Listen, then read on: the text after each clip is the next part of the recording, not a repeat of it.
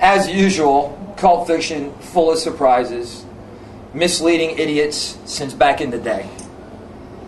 The next phase, because I got to come back, I got to handle this business myself, kid. All right?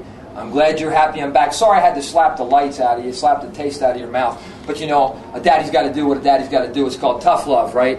Well, guess what? The next part of my plan is that we're going to start spreading out, spreading our message, spreading out the perception of our dominance in CZW. And I'm going to tell you something else right now. The next step of that plan is I want you in that aerial assault match. DJ, I'm demanding it. Aerial assault. 13, aerial assault. So he can show that not only will he get into any ultra violent situation that we put him in, not only will he follow my orders, but he's got another surprise up his sleeve. Don't forget that 13 is a really, really good wrestler.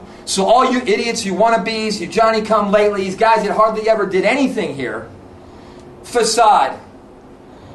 Here today, gone tomorrow. Chuck Taylor left us down how many times in this company? Coward, a weakling. Ricochet, you're a goofball. Okay? Alex Colon, um, please, seriously, please, man, um, go back to like carrying DJ's bags. And guess what? The one I really can't wait to see you put your hands on is this guy named A.R. Fox. He comes in here, he does a couple flips off the top ring post, right?